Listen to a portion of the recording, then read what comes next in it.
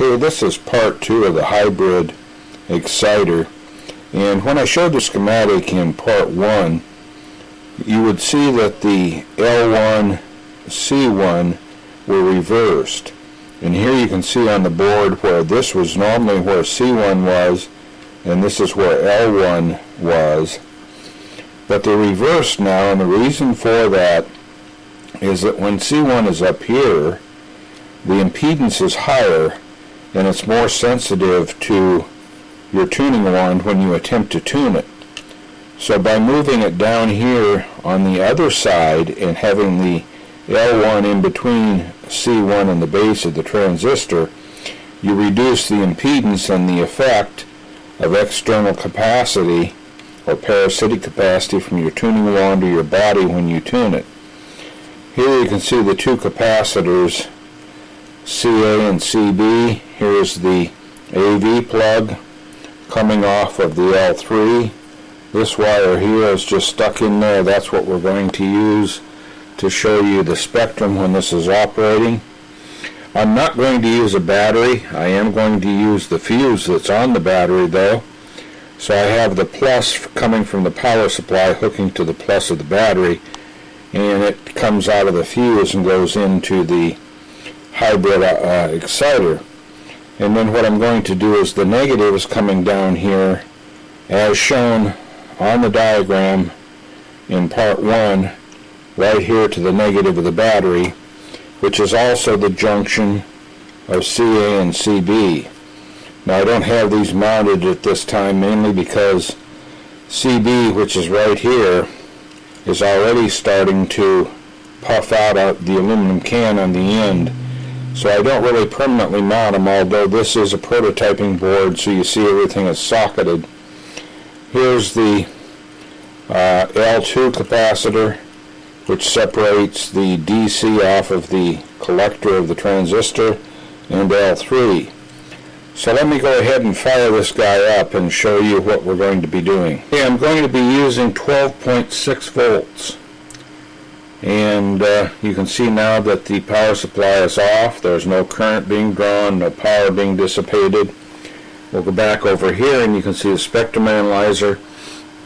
What I have marked on the spectrum analyzer right now is a very strong FM channel that's coming in which is 92.6 FM and you will see the exciter in here and you'll see the characteristic pattern that you want to obtain for the hybrid exciter. So let me go ahead and turn on the power supply.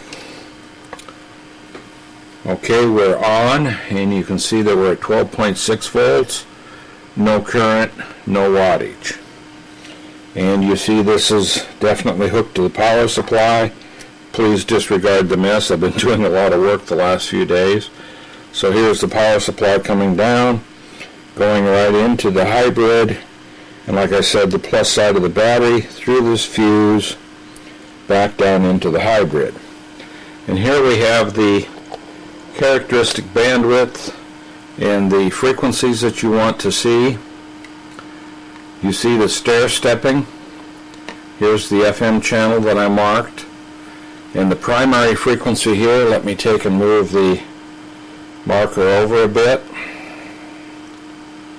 get that guy set up is 15.1 megahertz. And you can see that the span is 102 megahertz and I have the center frequency set at 60 megahertz. So that's kind of a characteristic of what you want to see. Now you see my probe fell out here. I'll just stick it back over here in the coil so we get a little more signal coming into it.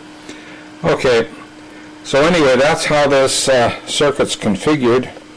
And I will come back here in, in part 3 and explain in more detail what's going on and what the value of this coupling capacitor should be.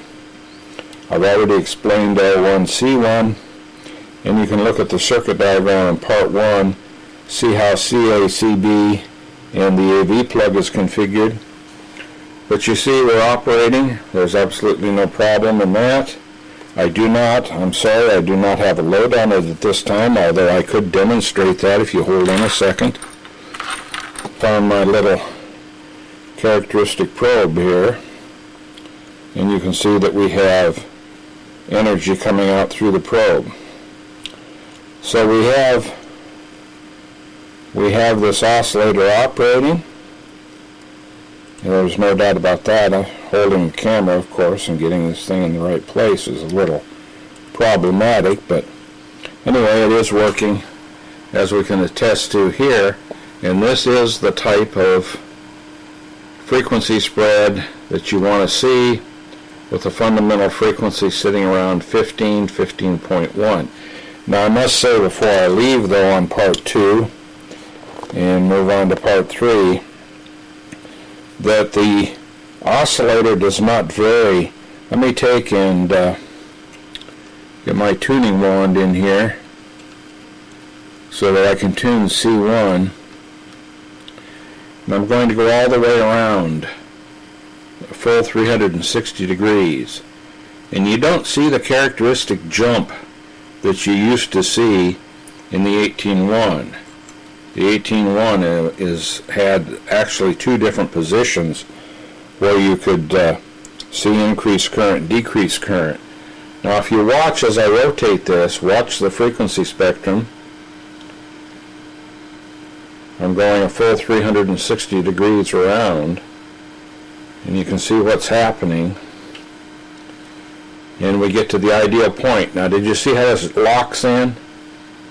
This is exactly where you want to be. And at that point we're consuming very, very little energy from the power source. And with the battery it's even more interesting. So the hybrid circuit is obviously something that someone may want to take and try to replicate. Okay, we'll move on to part three. I have more to say about it.